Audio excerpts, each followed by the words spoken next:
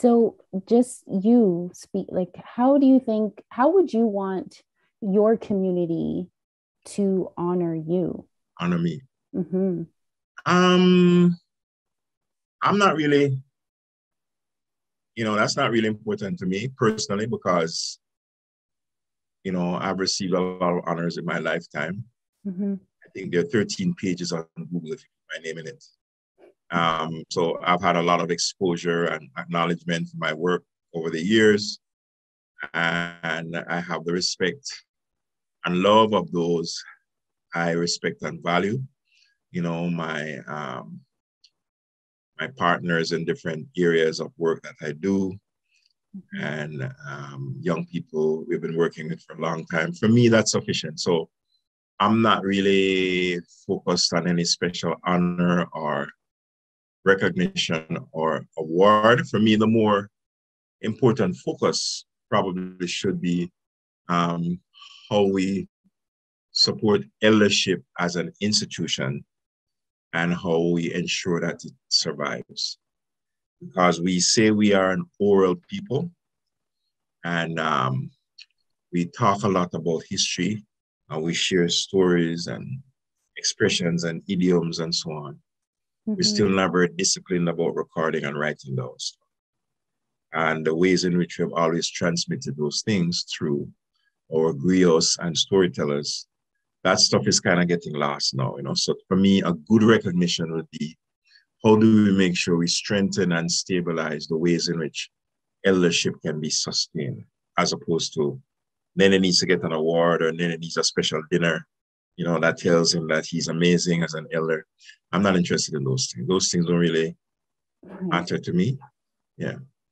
Right. But it, it's it's a great answer because essentially what you're saying is honor yourself or honor elders by just carrying on the intention and continuing to make action towards that intention so that's absolutely yeah that's definitely awesome and so one thing you you talked about was elders organizing. So this next question is in an in an ideal world what role do you see elders playing in a healthy community? So how do you see elders organizing themselves in order to kind of keep that um, blueprint going over the years just as it has done you know that from thousands of years ago?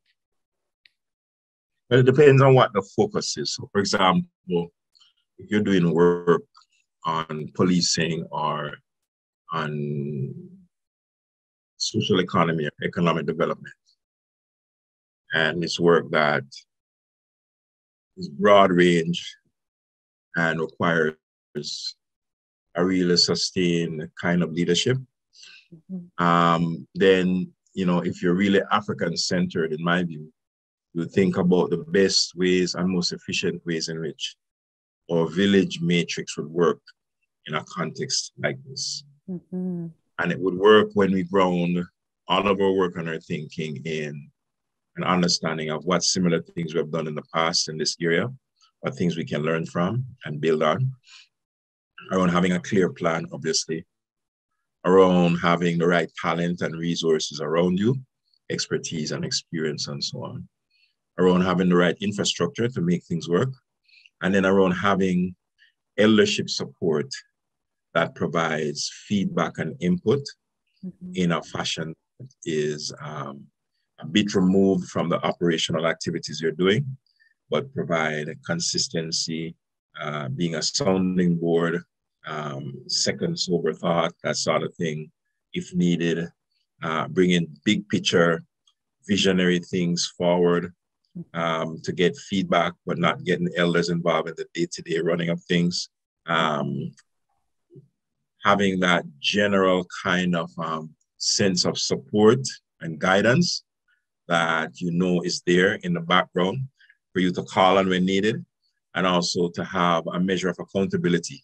So if you are messing up with the money or, you know, being inappropriate in different ways, the elders could talk, call it a task to say, you know, we need to meet and talk about some of these things and figure out what we're going to do and give you some advice about um, things that we think might be helpful, etc., etc. So um, in a practical sense, the elders would be like almost like the Senate, which yeah, receives information or bills um, that have already passed through the House, mm-hmm. and it goes to the second chamber to say, okay, they've kind of done the groundwork, they've looked at everything. Now they want us to take a final look at the big picture to see if there's anything we're missing mm-hmm. before the thing goes ahead, you know? Mm-hmm. Um, and so we we um, so I just came back from doing some work in Halifax with an organization where this structure was being created. And one of the challenges was that there were elders on the Elders Council who wanted to be much more active and involved, wanted to attend every meeting of the planning committee, wanted to be um, um, consulted and contacted as a kind of um, uh, approval mechanism at every stage, basically.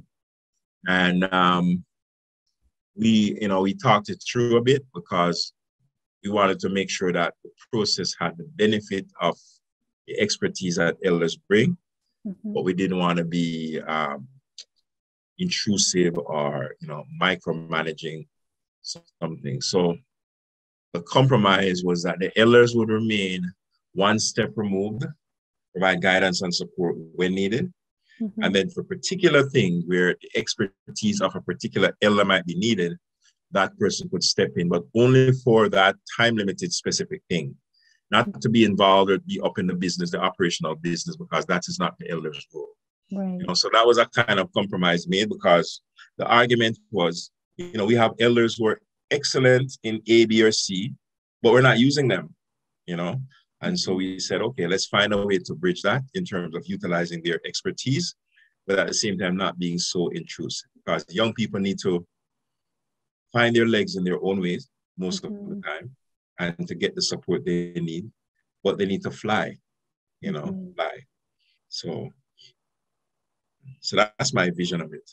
Yeah and uh, like I, I definitely see i definitely see the vision of it. And i think a lot of times people think that leadership means that there's only one right? But but we don't realize that like elders are needed in every single like sub community that is out there. And so there happens to be that like leadership role happening in multiple ways like almost like star systems right? Like there are a bunch of different star systems and they're all you know organized in their own kind of way but there are roles that are being played in a multitude of ways. So maybe in like this in this complex we have our group of elders that manage this or when we go to this thing there's a group of elders that do that. And i really see it as like an advisory council.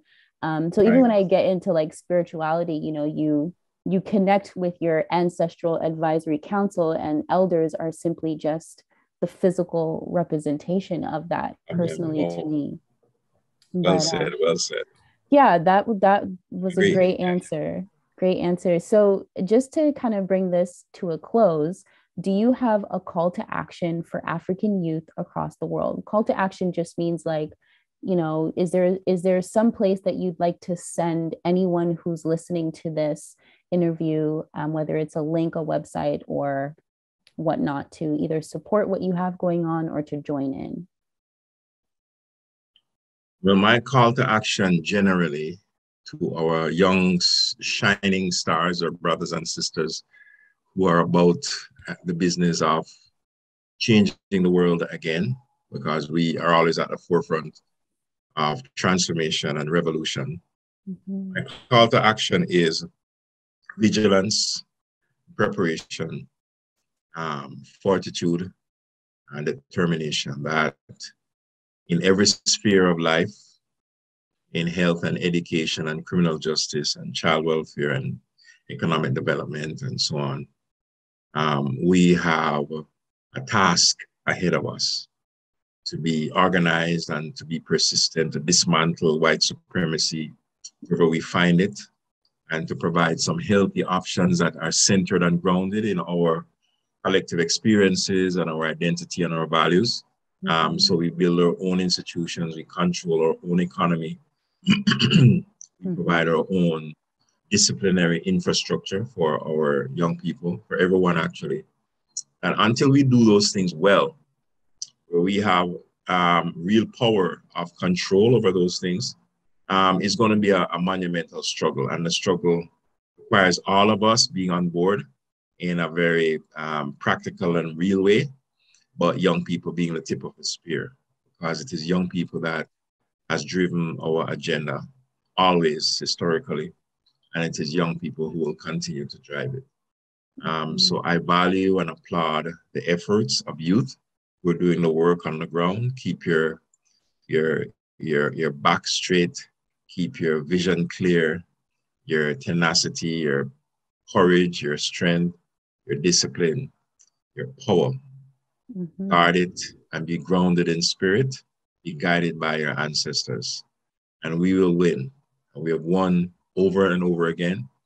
We will win. We'll continue to win. So the struggle continues for all of us.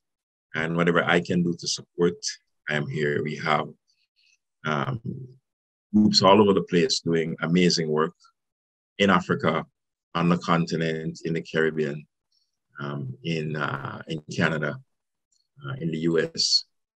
So I would say just find your niche and um, shine your light. Mm-hmm. Ashe. Ashe. Yes. Well, thank you so much, Nene. This was actually amazing. And, um, you know, we, all I can say is infinite gratitude. Like, just we give gratitude to you and your work and your words um, because you know spirit speaks. So thank you so much. And uh, i'm going to close this off right here